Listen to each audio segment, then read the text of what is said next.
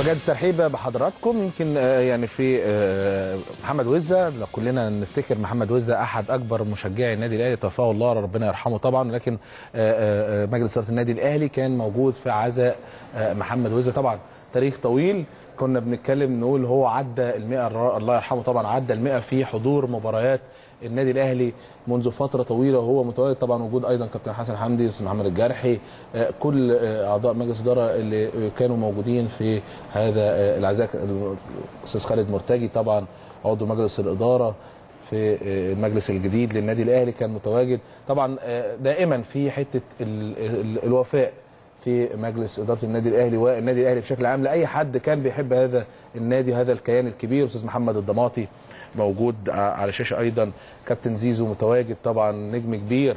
وهو أكيد عاصر محمد آه، وزة أكيد آه، كابتن زيزو من النجوم الكبار في كرة القدم ونجوم النادي الأهلي. تواجد آه، كابتن محمود خطيب طبعا كان متواجد في هذا العزاء.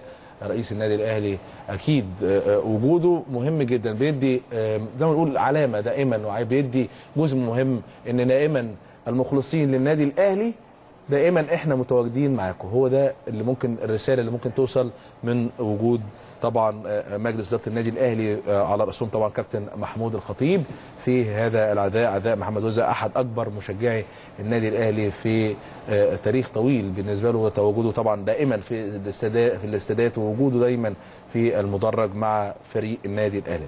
زي ما قلت لحضراتكم آه، اللجنة الأولمبية بتعتمد آه، مجلس إدارة النادي الأهلي الجديد برئاسة كابتن محمود الخطيب رئيس للنادي وأستاذ العمري فاروق آه، نائب رئيس آه، النادي أيضا أستاذ خالد الدرندري أمين صندوق آه، كابتن خالد مرتجي أستاذ خالد مرتجي عضو فوق السن السيد محمد الضماطي عضو فوق السن كابتن رانيا علواني عضو فوق آه، السن أستاذ إبراهيم آه، الكفراوي عضو فوق السن. أستاذ طارق قنديل عضو فوق السن. أستاذ جوهر آه، نبيل عضو فوق آه، السن. آه، أيضا آه، محمد آه، الجرحي عضو تحت السن.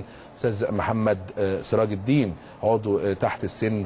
آه، دكتور مهند مجدي عضو تحت السن. يمكن ده آه، كامل أعضاء النادي الأهلي برئاسة الكابتن محمود الخطيب واعتمد اعتمدت آه، اعتمدت اللجنة الأولمبية آه، آه، قرار آه، آه، وجودهم كرئيس لمجلس إدارة النادي الأهلي كابتن محمود الخطيب وباقي أعضاء المجلس.